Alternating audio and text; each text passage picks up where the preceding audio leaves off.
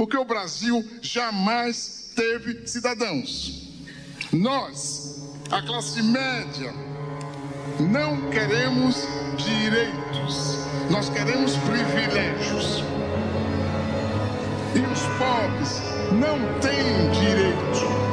Não há, pois, cidadania neste país. Nunca houve.